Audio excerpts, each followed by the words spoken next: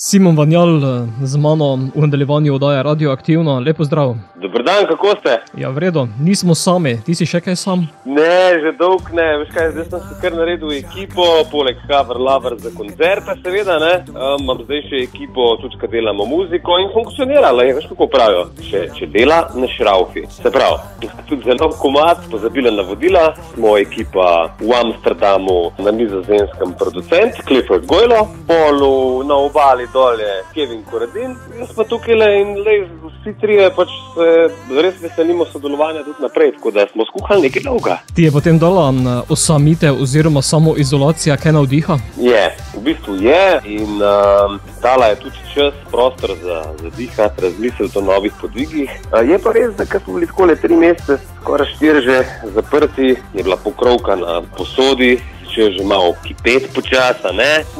Imamo že počasi poln kufr in tudi o tem v bistvu govori besedilo nove skladbe, pozabile navodila. So potem navodila še sploh potrebna ali ne?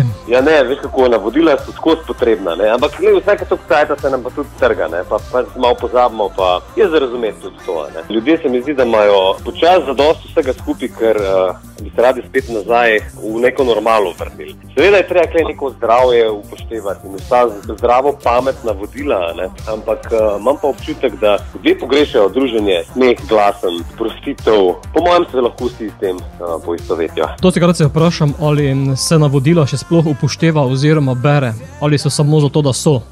navodila so, veš kako je z njimi, ne? se veš ti zdroben tisk, zdaj, zdaj prizneva si, a ti prebereš v njih šest A4 listov uh, to drobnega tiska. Jaz ne, no, a ti ja. Definitivno pri zavarovanju in podobnih zadevah ne. to je to.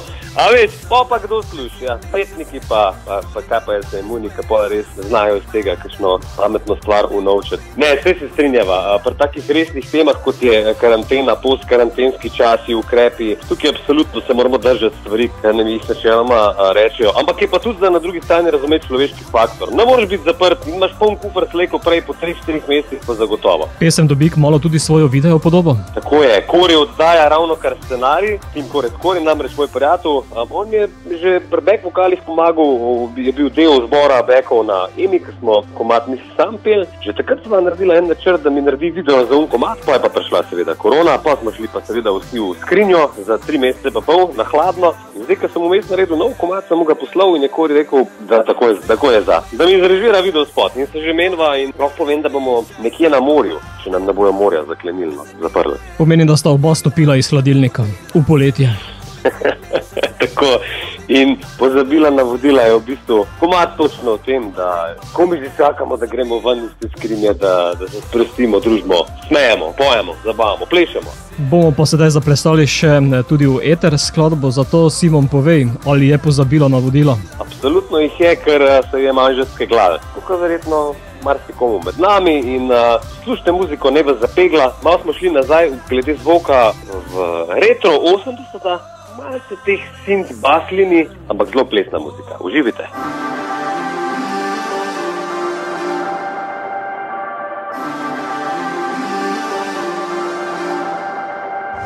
Gleda, čaka, uradi kataka, šla bi domov. Pozabila, navodila mesto, čaka, sonce namaka vodi se kot šminke se topimo. Ona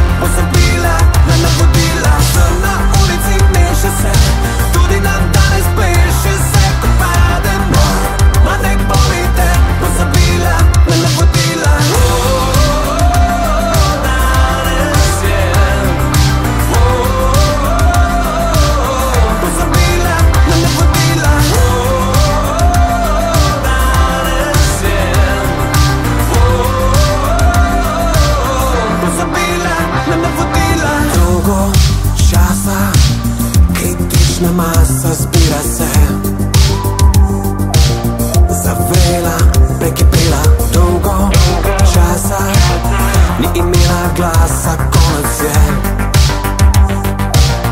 Pozabila na navodila oh.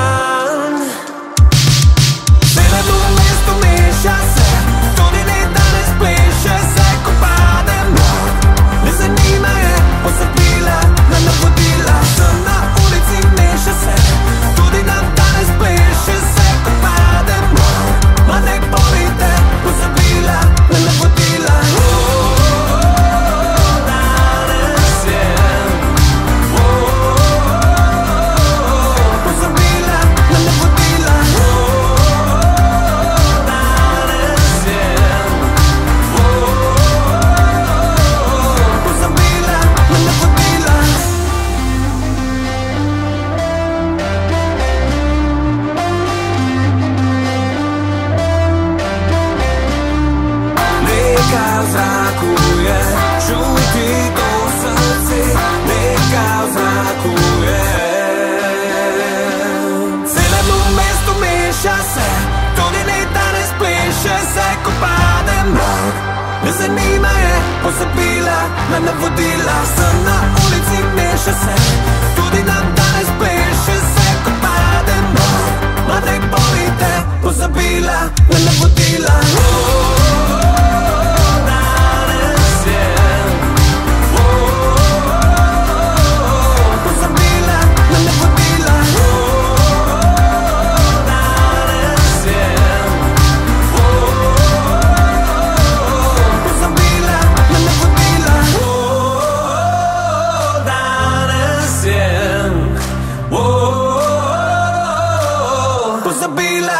la futila